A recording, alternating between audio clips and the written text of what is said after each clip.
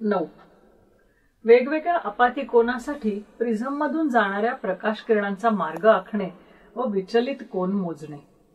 या प्रयोगासाठी काचेचा लोलक किंवा प्रिझम आरेखन फलक कोरा कागद ड्रॉइंग पेन्स लागतील.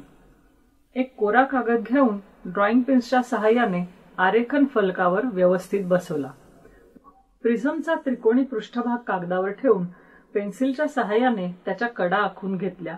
व मिळणाऱ्या त्रिकोणाच्या शिरोबिंदूंना ए बी व सी नावे दिली. प्रिझम बाजूला करून ए बी बाजूवर एक क्यू बिंदू घेऊन त्यातून एल एम ही स्तंभिका काढली. स्तंभिकेशी तीस अंशाचा कोन करेल असा किरण पीक्यू काढला.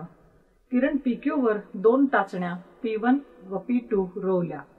प्रिझम मूळ जागी पुन्हा ठेवला व टाचण्या पी वन व पी टू यांच्या प्रतिमा विरुद्ध बाजूने पाहिल्या. विरुद्ध बाजूस टाचण्या पी थ्री व पी फोर अशा रोवल्या की टाचण्या पी थ्री व पी फोर आणि टाचण्या पी वन व पी टू यांच्या प्रतिमा एका रेषेत येतील.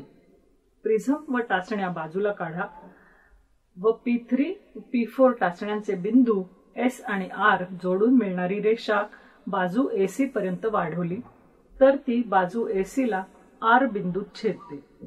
आर बिंदूत बाजू एसी ला लंब स्तंभिका काढली. पीक्यू व एस आर हे दोन्ही पाठीमागे वाढवले तर दोन्ही एकमेकांना के बिंदूत छेदतील. या दोन पीक्यू व एस आर किरणांमधील कोन मोजला हा विचलन कोन डी आहे. कोन पी क्यू एल हा आपतन कोन आय कोन एम क्यू आर हा अपवर्तन कोन आर आणि हा कोन विचलन कोन डी असेल.